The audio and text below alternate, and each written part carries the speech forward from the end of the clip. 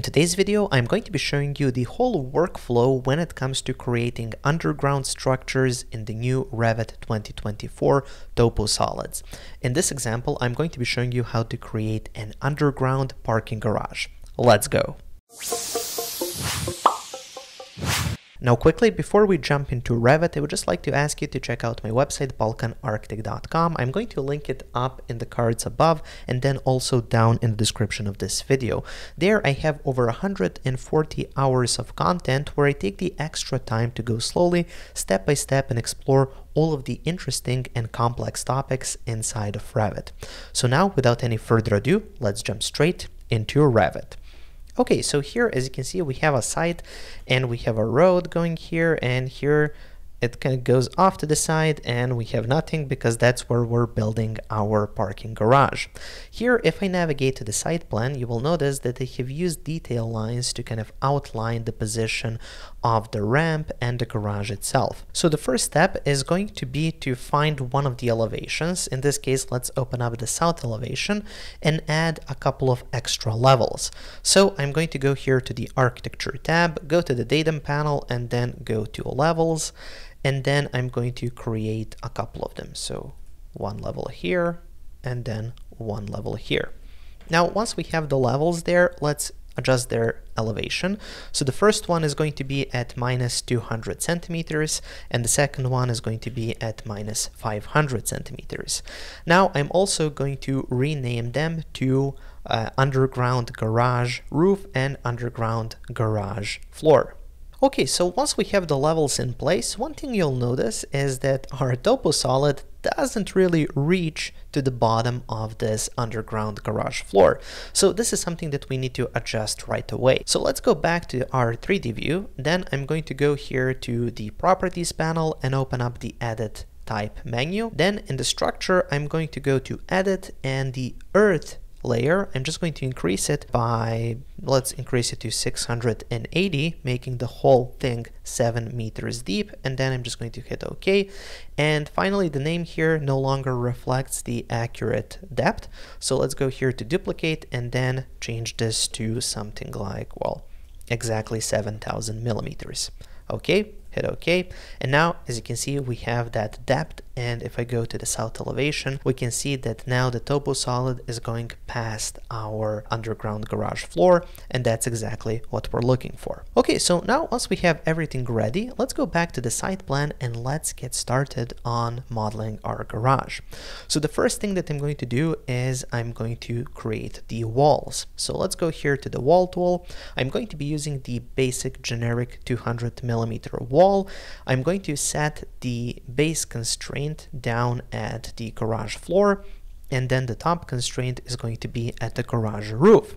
Make sure to hit apply then we want to make sure that the location line is set to exterior and finally we're going to be using a rectangle as a tool to place it. Okay, first click is going to be here, then I'm going to go all the way to the bottom using the detail lines as reference, the second click is here, and now we have the walls. Now if I go to the 3D view, we can obviously no longer see anything, so let's switch this to wireframe and now we can see the walls to our parking garage below. Next, I'm going to go back to our site plan and then let's create the floor. So for the floor, I'm just going to go here to floor, select the generic 300 millimeter floor, and then I can either use pick walls or a rectangle. I'm just going to be using pick walls, hover over one of these walls, hit the tab key and then select. And then I'm going to go here to level and change it to the underground garage floor hit apply and then hit finish. Now, if we go back to the 3D view, we can see that we have that floor underneath our walls. Finally, I want to add a slab edge here. So I'm just going to go again to floor, floor slab edge, and then I'm just going to place a slab edge all the way around by hovering over one of the lines, hitting the tab key, until it highlights everything and then when you click you get a slab edge that goes all the way around. Finally let's create the roof. So let's go back to the site plan, go to the modify now, go to roof. We want to uncheck define slope because we won't have any slope here. Then we can just use pick walls or the rectangle. So I'm just going to use pick walls here. Hit the tab key to highlight the entire chain of walls. Zoom in just to make sure it looks correct change the base level to the garage roof, hit apply, finish, and there we go. Now we have that roof as well. Okay, moving forward, let's make an opening here where that ramp is going to come and where the cars are going to enter. So for that, what I'm going to do is just go to the underground garage floor. So let's go here to that zoom in a little bit and then I'm going to go to my wall opening click and then I'm just going to click here on this wall and create that opening. Now currently this opening is very small, however if I go back to the site plan here I can see below and then I can just adjust it to the edges of these detail lines which I have placed. Okay, so I think it's in the correct place right now. And then you want to go to the 3D view just to make sure it looks correct, and it does. We have that opening here. And now finally let's create our ramp.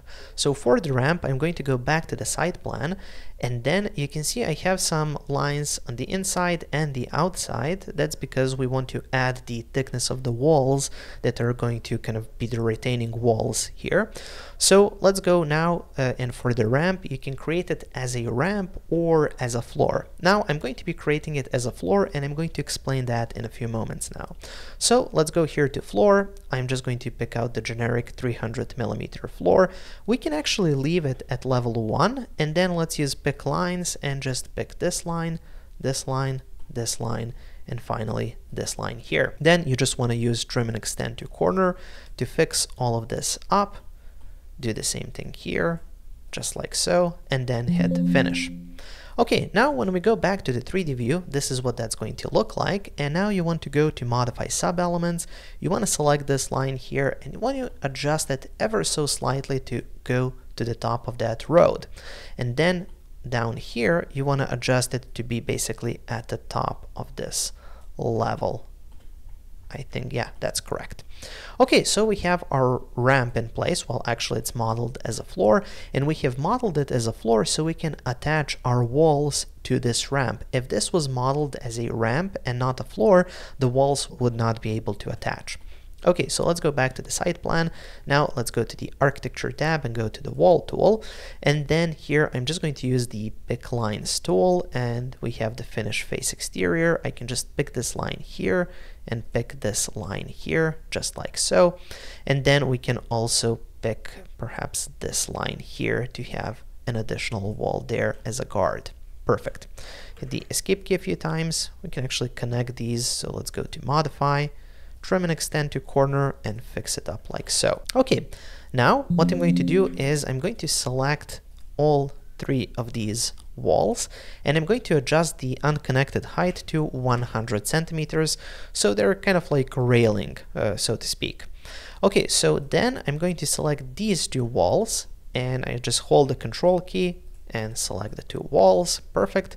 Now you want to go to attach top base switch it to base, and now because instead of a ramp we used a floor, once I click here, it's going to attach all the way down to the bottom.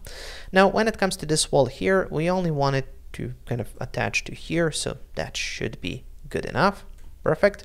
And now everything looks correct.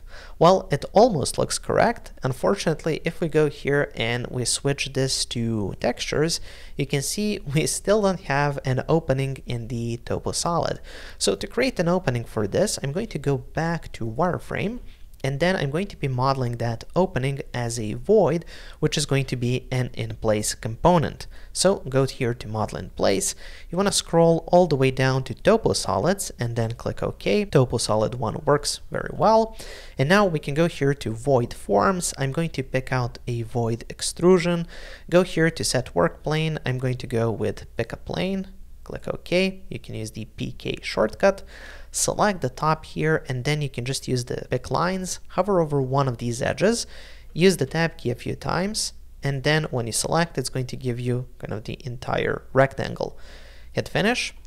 Then you just want to adjust it. So let's see here. Is it going up or down? So it's going up. So let's just move it down. And you don't want to move it to the bottom of the slab uh, edge. You want to move it to the bottom of the actual floor slab. And then this should be at the top Perfect, just like that. And then you want to go to cut geometry, select the topo solid, select the void, and now we have an opening. Finally, we also want an opening here for the ramp. And for that, I'm just going to go here to create void forms and then go with a void swept blend. Go to pick path and pick the top of this wall and actually the outer line. Perfect. And now you just want to go back to, oops, go back here, hit finish, go to edit profile one, and then the profile one is this one here. So, oops, for that profile, you want to go from the bottom of the slab and let's just switch to the rectangle first. So from the bottom of the slab to the center here, just like so. You hit finish, then you go to profile two, edit, and that's going to be this profile here. And here I'm just going to use the same rectangle from the top here and then go to the bottom of that slab, just like that. Hit finish, and now we have that void. We need to hit finish once again, and we also need to cut it from the topo solid by selecting the topo solid first, and then the void, and now we have that cut. So now when I go here to finish model and switch this back to textures, now you can see we have that opening and it's actually going to the garage. You can see that even better if I go here and turn on the section box, hit apply, and now we can use the section box to actually open this up and see what's going on. Now, I like using the section box just to see where the thing is cutting the topo solid. So for example, here, this slab edge might not be cutting through. So you can go here to cut, select the topo solid, select that slab edge, and now it's cutting through. So you just want to make sure that everything that needs to cut through the topography, it's cutting through the topography. Same thing here just like that. So you can cut the topo solids with your walls, slab edges, floors, and so on. And there we go. Now, of course, we can continue working on this and we can get it to something that looks like this, uh, something that looks really attractive. I have also added some really nice, highly realistic families. And if you want to check those out, those are available for sale on my website. So I'm just going to link that up in the cards above. And there you go. If you want to get access to all of my Revit project files, you can find those on my Patreon page, which I'm going to link up in the cards above, and then also down in the description of this video. Thank you for watching, guys. Make sure to check out my website, balkanarchitect.com for more uh, Revit courses. Uh, there I have over 120 hours of content, uh, and I'm adding more each week. Make sure to subscribe uh, for more videos and also I've added a video over there that might interest you as well.